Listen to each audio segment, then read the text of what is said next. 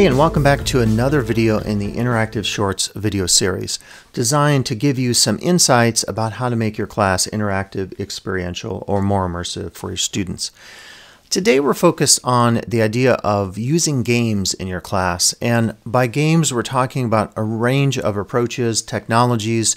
It could even include, you know, using board games or card games like Pictionary, online Jeopardy quizzes, interactive games that um, maybe mimic some of the approaches of escape rooms or um, technologies of that sort. So we'll look at a variety of different games, and this is one of these where I think you have to do quite a bit of investigation on your own just to get a sense of what's out there, the possibilities, how easy these are to use, do they require anything of your students in terms of an account, a sign up, a technology, and also your own sense of comfort with technology in terms of thinking about how much learning and pre work you're going to have to do on your own end to get this running for your students.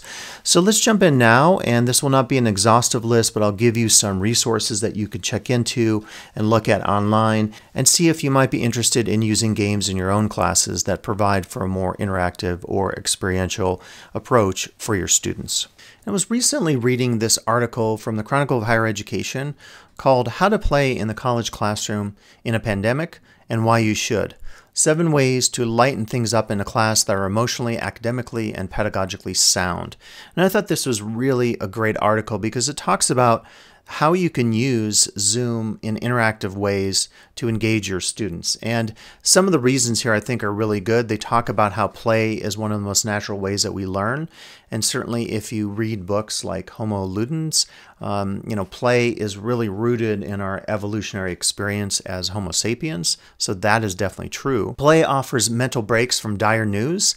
Um, I think very key as we're all dealing with uh, situations of collective trauma related to violence in the world, political upheaval, uh, related to the pandemic, of course. We all need opportunities to engage outside of work, outside of school, outside of education. So it's a great break from all the uh, terrible news and world events that we've all been dealing with for sure.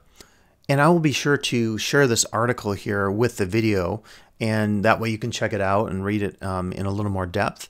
But um, a lot of good uh, ideas about how to engage students in terms of uh, classroom activities, snowball discussions, um, class discussion activities that uh, employ a you must choose frame that requires students to um, answer particular questions. You could engage them with this technique using the breakout rooms in Zoom.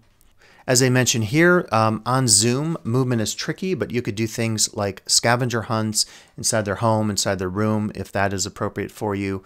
Introduce some levity um, in an intro to psych class. The uh, faculty member here talks about um, illustrating observational research methods in fun ways, and so that is something to think about. Be creative and careful as you connect things to current events. Interrupt routine um, do low stakes grading in your class and know when to take a break. So, in thinking about this context of play in a college classroom, I thought in, in particular in this video, I would talk about using games. And there are different types of games that you could use. We've talked a little bit in another video about question cards that you can use as prompts, as icebreakers at a beginning of a class, but you could certainly do it anytime in that class just to engage your students a little bit more. In this video, I'll talk about games and games could include physical games that you could maybe play with students if it works in a way that the students don't each have to have a copy of the game. Or we'll talk about some online games that you can use. And I found actually a list of quite a few of these online.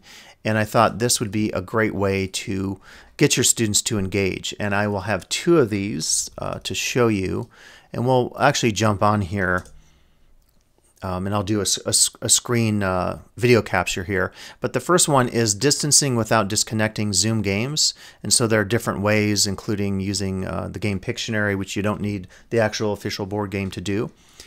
And there's also a, a, video I've done on trivia, and so trivia will also connect to this, so check out that video. And then the second document I'll share with you is someone created an entire list of quarantine games. And this is really massive, everything from online chess to online card games, collections, you know, specifically for kids. Feel free to use this for your kids as well. Um, massive, massive online player worlds, Dungeons and Dragons, murder mystery games, party games, puzzles. You can even find some low tech versions of escape rooms. And so some of the stuff that you might use with your class could be just a great way to engage students and to again get the interactivity up a little bit more than it is because of maybe our Zoom fatigue that we're all experiencing. So in the past, I've used board games in classes more as a demonstration, like in my religion class, we talked about this playing Gods board game and um, we kind of used it for fun. I originally thought I was going to purchase a bunch of these and then have students play it in the class, but doing a board game in a class takes a little bit of time, so that, that might be hard to do, but a board game could be used for a demonstration, maybe not for an actual activity.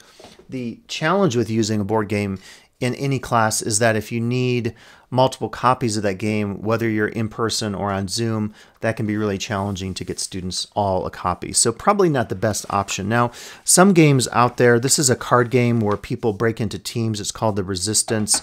Really fun game that is as I'm losing all the cards here, that allows um, interactivity and uh, people choosing cards. So, with some of the card games out there, you might be able to actually use them in a class depending on what those are. So, you could even search on Amazon and see if anyone has designed games very specific to doing interactive activities on Zoom. I wouldn't be surprised because a lot of people are coming up with, with new and innovative ideas. Okay, so that will do today here talking about using play and different kind of games, most notably online games that allow you to have a little more fun with your students to break the chain of traditional lecture and hopefully engage them a little bit more than normal here as we continue to teach during the pandemic on Zoom. So thanks for listening and I'll be back with more videos in this interactive shorts video series.